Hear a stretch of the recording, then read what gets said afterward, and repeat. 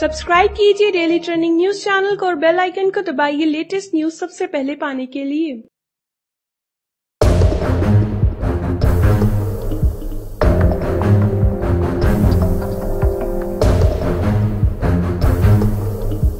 आतंकवादी Osama bin Laden के बेटे हमजा बिन लादेन के मारे जाने की खबर है।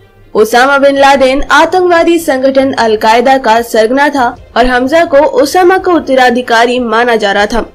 हालाँकि, अमेरिका मीडिया रिपोर्ट्स के मुताबिक अभी हमजा की मौत की पुष्टि नहीं हुई है। ये भी साफ़ नहीं है कि हमजा की मौत कहाँ और कैसे हुई।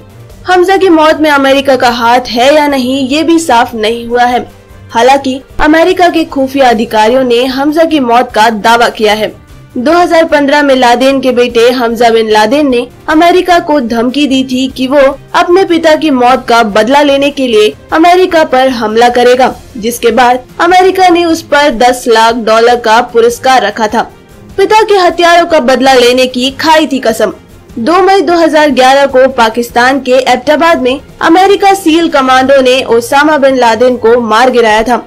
बताया जाता है कि अपने पिता की मौत के बाद हमजा अपनी माँ, यानी ओसामा की तीन जीवित पत्नियों में से एक खैरिया सबार के साथ एबटाबाद में ही रह रहा था।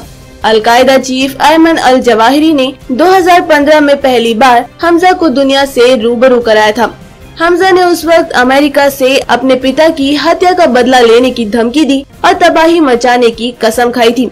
साल 2017 में हमजा को अमेरिकी गृह मंत्रालय ने वैश्विक आतंकवादी घोषित कर दिया। साथ ही, अमेरिका ने हमजा के सर पर 10 लाख डॉलर, यानी 7 करोड़ रुपए पुरस्कार रखा था। हालाँकि 2018 के बाद से हमजा का कोई बयान दुनिया के सामने नहीं आया।